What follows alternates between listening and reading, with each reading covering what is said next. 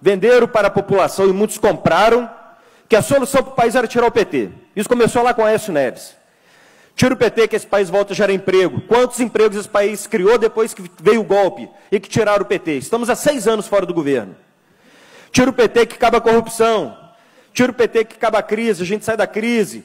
Tira o PT que vai virar mil maravilha. Eu pergunto a quem está me acompanhando: entregaram para vocês um país melhor? Entregaram sim, a população com menos direito, caçaram os direitos trabalhistas, é, fizeram reforma de previdência, congelamento de gastos, que é investimentos por 20 anos, tornaram o país que era a, a, a sexta economia do mundo, hoje a décima quarta economia do mundo, queimando as reservas cambiais que nós deixávamos. Ah, o PT quebrou o Brasil, quebrou com mais de 360 bilhões em reservas cambiais e que estão sendo queimadas agora, porque senão a crise nesse país poderia ser pior. O povo sabe disso, o povo é sábio. O povo é sábio. E as pessoas sabem que viviam melhor na época que nós governávamos.